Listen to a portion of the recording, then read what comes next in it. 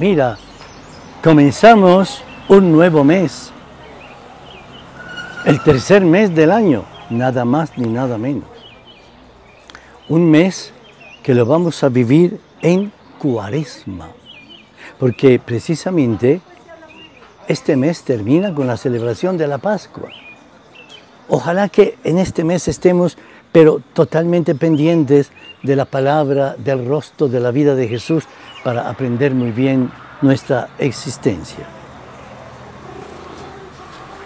Del Evangelio de San Mateo, capítulo 21, versículos 33 a 46. En aquel tiempo dijo Jesús a los sumos sacerdotes y a los ancianos del pueblo, escuchen otra parábola. Había un propietario que plantó una viña, la rodeó con una cerca, cavó en ella un lagar, construyó una torre, la arrendó a unos labradores y se marchó lejos.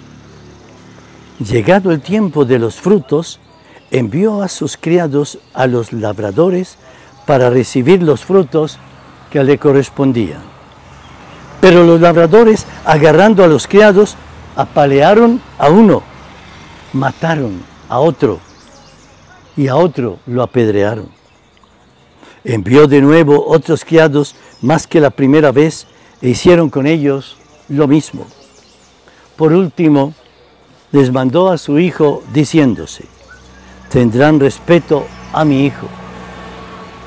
Pero los labradores, al ver al hijo, se dijeron, este es el heredero, vengan, lo matamos y nos quedamos con su herencia. Y agarrándolo, lo sacaron de la viña y lo mataron. Cuando venga el dueño de la viña, ¿qué hará con aquellos labradores? Le contestan, hará morir de mala muerte a esos malvados y arrendará la viña a otros labradores que le entreguen los frutos a su tiempo. Y Jesús les dice, ¿no han leído nunca en la escritura la piedra que desecharon los arquitectos es ahora la piedra angular. Es el Señor quien lo ha hecho. Ha sido un milagro patente. Por eso les digo que se les quitará a ustedes el reino de Dios y se dará a un pueblo que produzca sus frutos. Los sumos sacerdotes y los fariseos, al oír sus parábolas, comprendieron que hablaba de ellos. Y aunque intentaban echarle mano, temieron a la gente que lo tenía por profeta. Palabra del Señor, gloria a ti, Señor Jesús.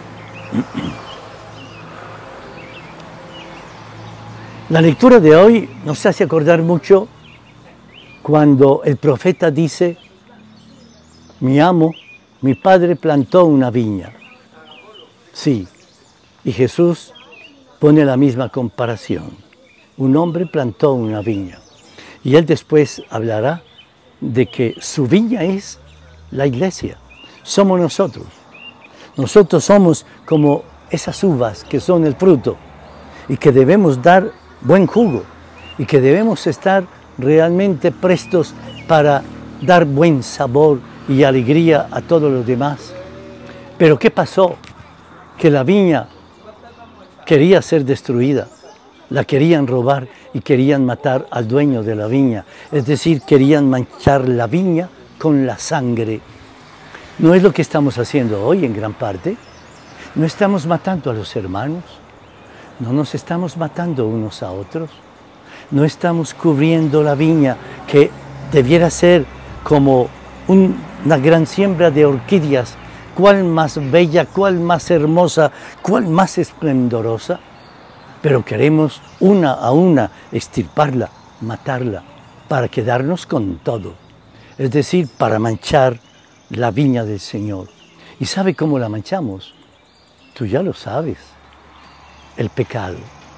Por eso hoy, viernes, primer viernes de mes, viernes penitencial, Señor, desde la sinceridad del corazón, te decimos, somos malos viñadores, hemos manchado la viña con la sangre del pecado, hemos afeado la hermosura de tu viña, como si alguien viniera y dañara la hermosura de un esplendoroso sembrado de orquídeas.